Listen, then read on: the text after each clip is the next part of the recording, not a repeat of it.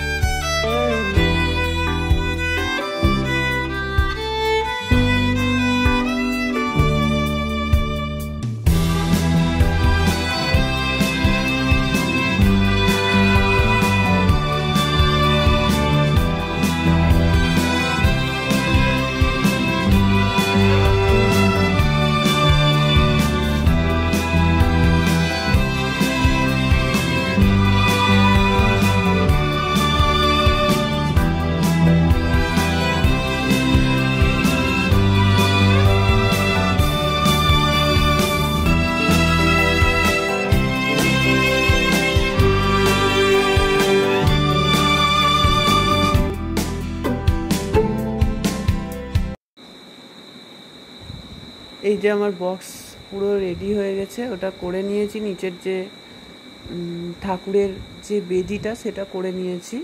এবার পেছনের যে চালটা আটকাবো, তার জন্য আমি দুটো কার্ডবোর্ডেরই স্ট্যান্ড নিয়ে নিয়েছি। তো ওই দুটো আগে আটকে দেব। তারপরে আমি পেছনের যে গোল কারের চালটা আছে, সেটা আটকে দেবো।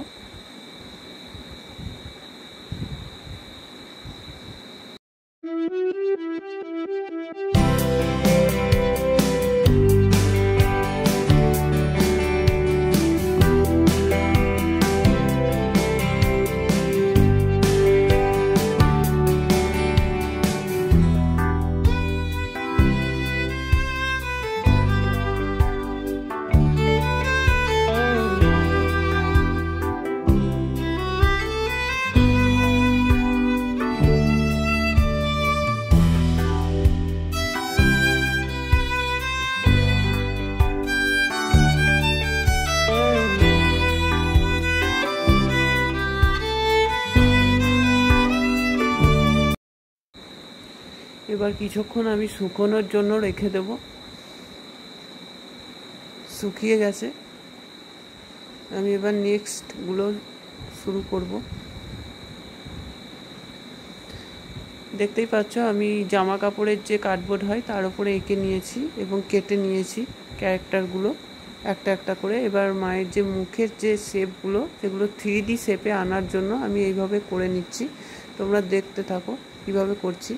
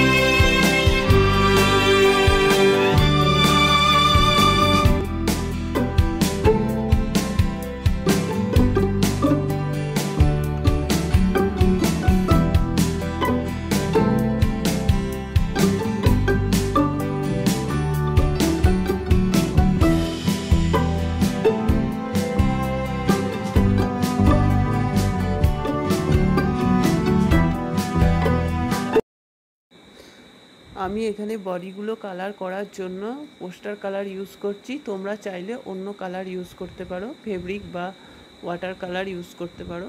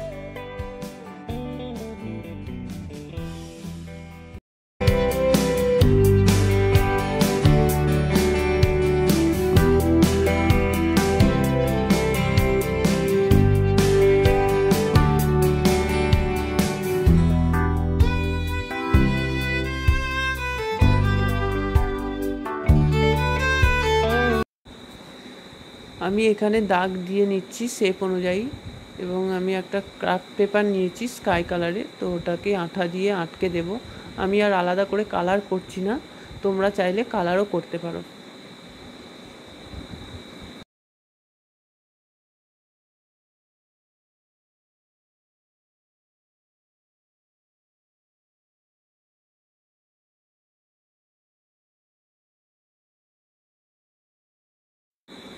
পেপারের যে মূর্তিগুলো সেগুলো এবার আমি এইভাবে আটকে দেব চালের সঙ্গে।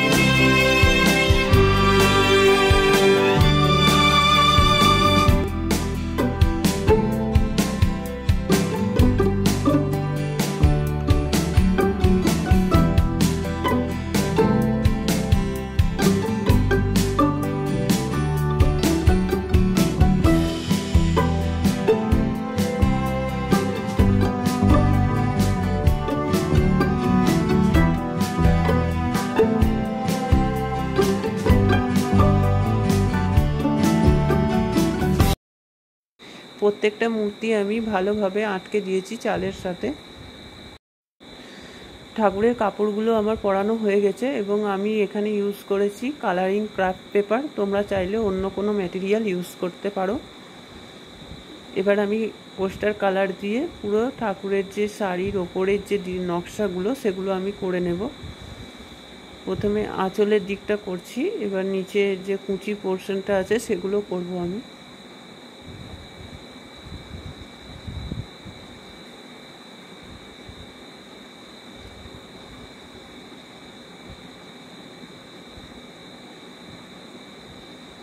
পুরোটা রেকর্ড করা হয়নি।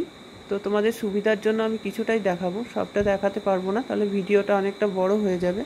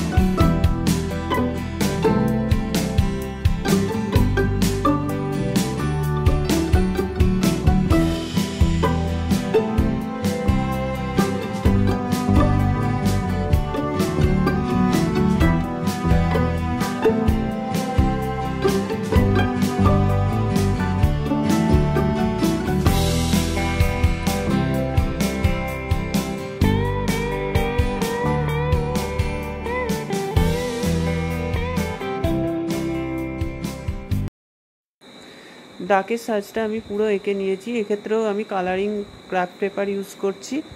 আর আমি সবটা নিতে পারিনি ভিডিওতে, তো আমি এর ওপরে পোস্টার কালার দিয়েই এঁকে নিয়েছি সাজটা পুরো। দেখো, একদম রিয়েল সাজের মতন লাগবে। তো এবার আমি আঠা দিয়ে একটা একটা করে সাজ পরিয়ে নেব।